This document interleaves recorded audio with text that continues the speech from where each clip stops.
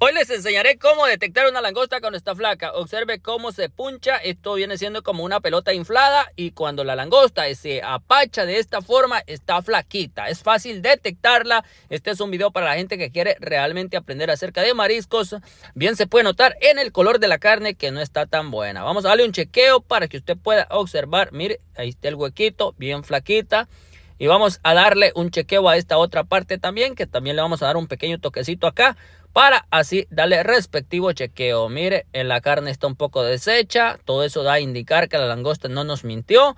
Y pues sí, es que a la langosta para que esté gorda tiene que estar durita y aparte de esta ya no está tan buena. Por lo tanto, la vamos a tener que tirar. ¿Cuánto vale una langosta de estas? Anda entre 25 a 30 dólares. Que se, digamos que se pierda una de estas de esta forma, es pérdida total. Pero bueno, ahí se va la langostita y muchas gracias a los que se están suscribiendo para ver el próximo video. Así es de que darle con todo como siempre y...